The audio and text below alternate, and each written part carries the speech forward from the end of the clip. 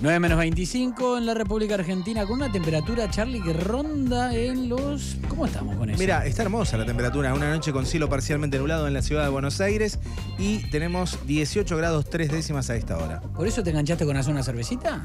Y la noche está ideal, te digo, para una cervecita en una terraza, en un balcón. Yo quiero, sí. Se, se suma, Nuria. Ya está. Pero, pero bien fría, Faltás ¿eh? vos, porque eh. no hay nada más feo que la cerveza ahí medio- Caliente. No, No, no, no. aparte Tiene que de ser peligrosa fresca. la cerveza caliente. Te pone más en... te- puede caer mal. Claro. ¿Mal a la cabeza o mal a la panza? No, la cabeza. Ah, sí. ¿Se sube a la cabeza? ¿O no? Bueno, nos vamos rápidamente al contacto con Lili Franco, nuestra compañera, ¿eh? Eh, para hablar un poco de este día después, ¿no? Y los números de la economía, básicamente, que volaron hoy. Hola Lili, ¿cómo estás?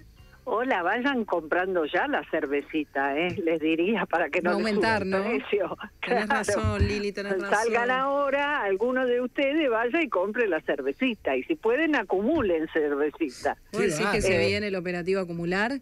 Vos decís que salimos de acá, por ejemplo, y hay grandes colas en las estaciones de servicio, pues se viene un aumento de naftas, por ejemplo.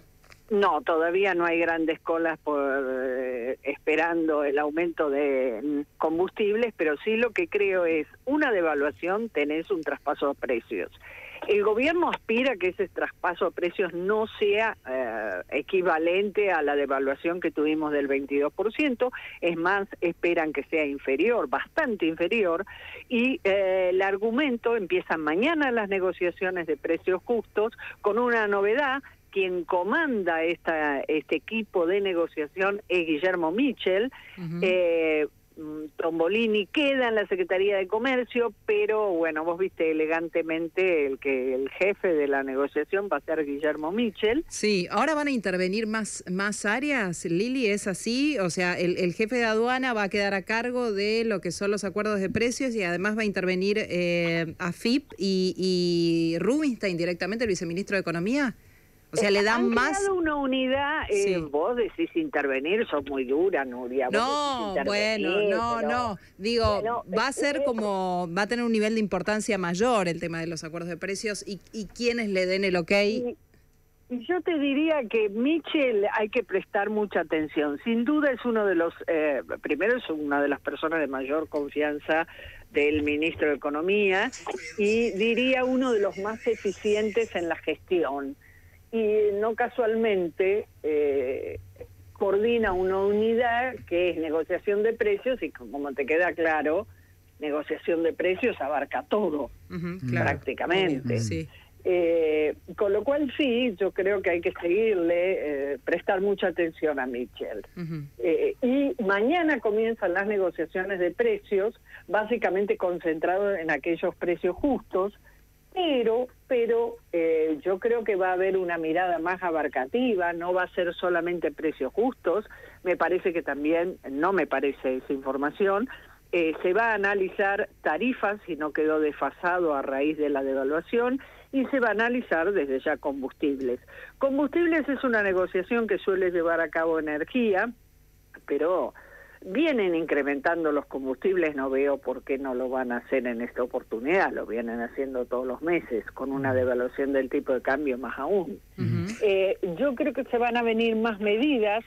Eh, hoy conocimos, por ejemplo, una que me sorprende, que no tengo una explicación dentro de lo que es la, la economía, que es la baja del impuesto país al dólar Qatar en momentos que a través de la Comisión Nacional de Valores limitan el acceso al dólar MEP, que es el dólar por el cual eh, se hace uno de dólares vía la bolsa de comercio y sin embargo han limitado el acceso y por otro lado te bajan el impuesto país, o sea, suena contradictorio, pero bueno, es un día muy movido, acusaron el impacto de los mercados, salieron temprano a devaluar y subir la tasa de interés porque bueno, eh, claramente no podían eh, dejar que esa situación Ahora, Lili, si, sí. si Massa no fue competitivo con los números de la economía tal cual mostraba la foto el domingo, el día de la elección.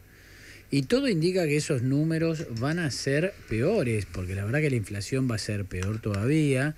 Y la economía, más allá de los números mágicos que hagan en, en- en el acuerdo de precios y todo ese tipo de cosas, eh, tampoco tiende a, a levantar, eh, Massa va a ser menos competitivo todavía. ¿Cuál va a ser la estrategia? A ver, eh, yo creo que es la estrategia, no me queda otra. Tenés toda la razón lo que vos acabas de decir.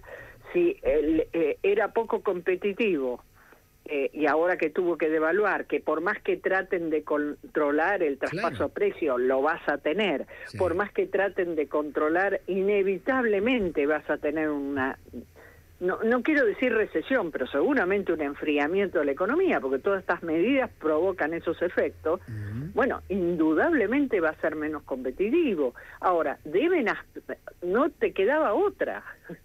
Ahora, escuchame El una problema cosa. es que, a ver, no me gusta ser alarmista, pero vos hoy a la mañana arrancaste con una corrida y vos tenés que tener el, eh, eh, o sea, está en el peor de los mundos, es gobierno, es gobierno y candidato. Claro, y además entonces, no se... como gobierno tiene que tomar medidas que son aceite de ricino. Sí, está- estará por estas horas eh, Sergio Tomás Massa pensando seguramente si no debería haberse corrido del Ministerio de Economía para tomar la candidatura sin quedar este, tan expuesto con los números. Y sin ¿no? que esto lo lime, ¿no? Porque digo, el, Eh, el eh, impacto que sí. tenga lo de hoy.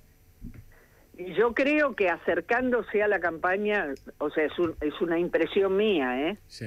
Eh, creo que él va a dar un paso al costado. Porque realmente como haces campaña, Y pero ¿y quién?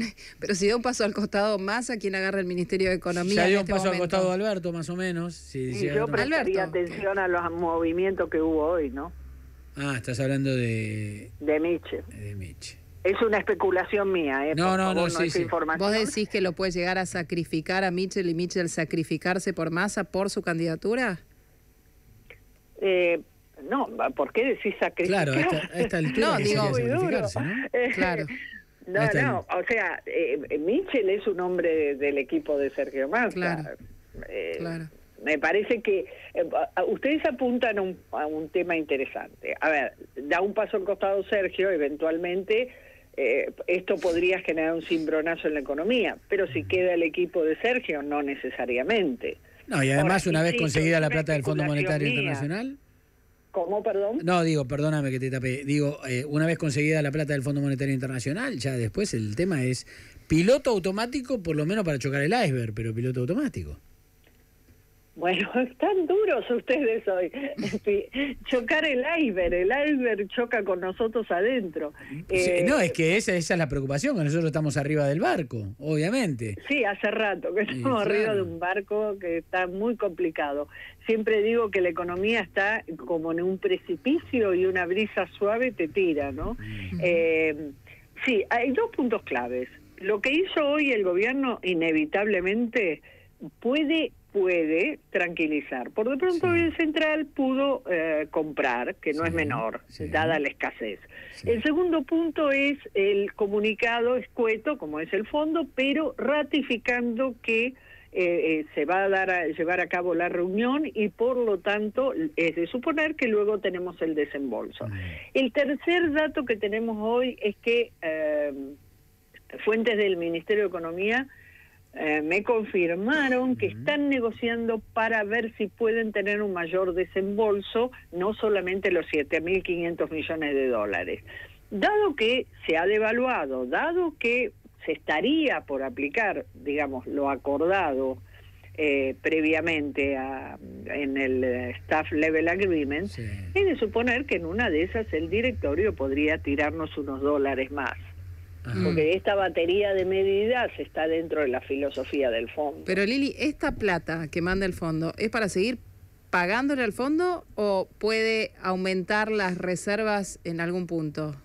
A ver, eh, eh, objetivamente es para repagar los compromisos que tenemos, Mm. pero eh, no es menor, cuando vos no tenés nada, eh, si bien vas a poder honrar tus compromisos, por eso te digo que en el Ministerio de Economía reconocen que están negociando para tener más desembolso que los 7.500 millones de dólares acordados. Bien. Además, eh, el, el swap está en, eh, fue activado el segundo tramo del swap.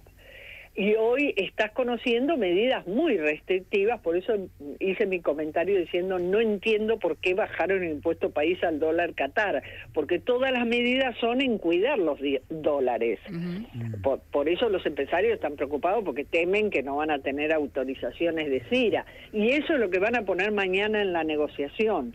Va a haber incentivos para aquel que acepta un traspaso de precios inferior o una pauta que no, no nos han dicho cuál, pero aquel que se aviene a no trasladar mucho a precios va a tener incentivos para acceder a dólares de importación. Lili, te mandamos un beso. Gracias por eh, toda la información, siempre compartida con nosotros.